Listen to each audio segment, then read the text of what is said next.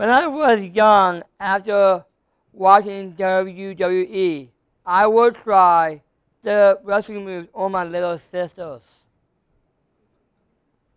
I would throw them on the floor like they did on TV. My mom and my dad did not like that. When I was 11 years old, I had my finger amputated in a farming accident. I flew to the state police helicopter to the hand trauma center. The doctor was not going to put it back on. Put back on. Where am I? Okay. Put back on. I had Down syndrome. But after he met me, he changed his mind. I don't feel pain as well. When my finger was irritated, it was not painful. When I was in elementary school, I was bullied by mean classmates. When I was 18 years old, I got my Maryland driver's license. I had problems passing the test because I didn't understand the question on the test. On the computer, we're asking, but when the man at MVA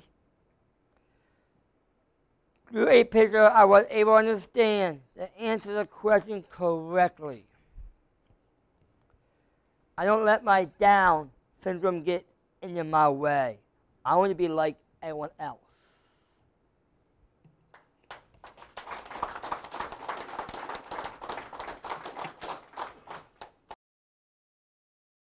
Okay, my, I work at Martin's Food Store.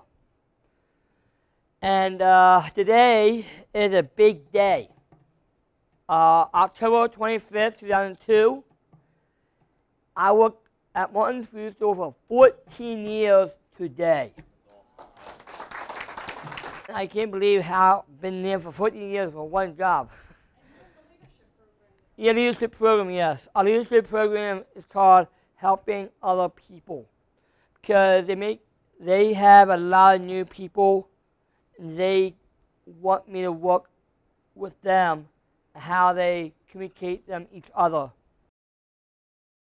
Let's talk about some of the stuff that Josh was talking about here in his speech. So, eh, when he was 18, he got his Maryland driver's license. Now, how much driving do you do typically? Like, is there only certain places that you drive? Or? Well, not a um, long distance drive like PA, because I went through uh, my sister's. I work for um, Special Olympic stuff. Yep. Um, I work for them for a couple months now. I'm volunteering, and uh, right now it is an incredible thing in my because I met my sister up in they live in PA. Gotcha, my, gotcha. That's why I'm gonna. So, do. so some short distances, you're good. You're good yeah, short distance, yes. But what Josh mentioned though, when he got his driver's license, he had trouble passing the test because he couldn't understand what the question was. But when the, the gentleman at MVA drew a picture of what the question was asking, we're talking about a different form of communication there. It's a different process in the brain. So he was like, boom, I got this. That's what you meant. Okay.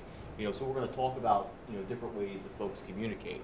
Um, obviously, bullying, unfortunately, was uh, a big part. Yeah, um, I would, uh, people fight with me, and they talking like really harsh words, yeah. and I don't like that because I'm down down syndrome, but it, I like to be with other people because no one like no one judge me or anything else. When like they call me uh, that, this and that, and the other day I got picked on.